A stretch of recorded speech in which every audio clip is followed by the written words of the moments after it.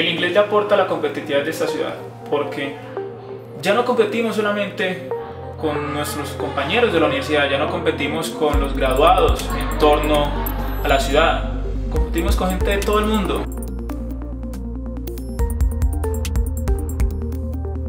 Suárez Daniel Panizo Ríos, vive en Medellín, la ciudad del futuro.